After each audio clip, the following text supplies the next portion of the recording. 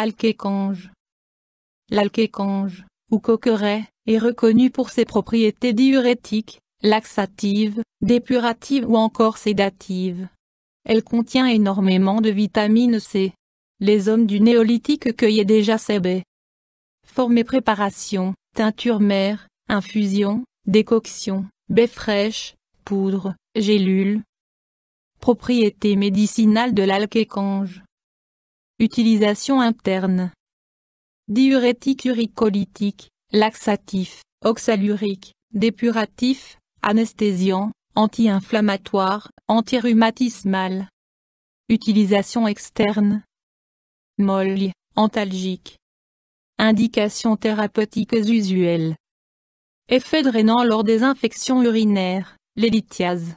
Lutte contre la goutte, traitement des œdèmes, effet anesthésiant en cas d'hémorroïdes, traitement des calculs biliaires et rénaux. Autres indications thérapeutiques démontrées. Rhumatisme. Description botanique de l'alkécange. L'alkécange est une plante vivace, ses feuilles ovales sont groupées par deux, légèrement dentées et avec un bord onduleux. Les fleurs sont grandes et se situent à l'aisselle des feuilles. Le fruit, ou baie, est globuleux et charnu. De couleur rouge orangée, il est enfermé dans un calice très large et parcheminé. L'ensemble a la forme d'une lanterne ou d'un lampion. Composition de l'alkécange. Partie utilisée. En phytothérapie, on utilise le fruit de l'alkécange.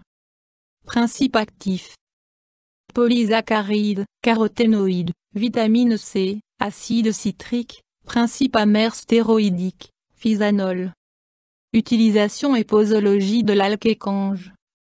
Dosage. En infusion, faire infuser 20 à 30 g de bémure d'alkécange dans un aile d'eau. Boire de 2 à 3 tasses par jour. En décoction, 40 à 50 g de bémure dans un aile d'eau. Faire bouillir pendant 5 minutes puis laisser infuser durant 10 minutes à feu doux. Boire de 3 à 4 tasses par jour. En poudre, 1 à 2 g de poudre de baie séchée à utiliser comme diurétique. En usage externe, utilisez le liquide du fruit broyé en application directe sur les parois anales pour lutter contre les douleurs provoquées par les hémorroïdes. On peut utiliser l'alkécange en décoction en usage externe pour un effet calmant et adoucissant, mettre de 60 à 120 g de plantes par litre d'eau.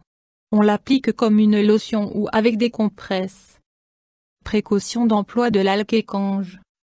Il ne faut pas consommer les fruits immatures de l'alkécange, car ils sont alors toxiques.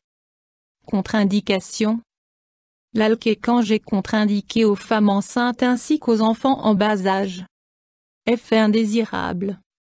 Lorsqu'il est consommé trop vert, le fruit peut entraîner des troubles intestinaux tels que la diarrhée, il peut alors également provoquer de la fièvre, Interaction avec des plantes médicinales ou des compléments. Il n'y a pas d'interaction connue avec d'autres plantes médicinales ou compléments. Interaction avec des médicaments. Pas d'interaction connue. YouTube Dr Alabé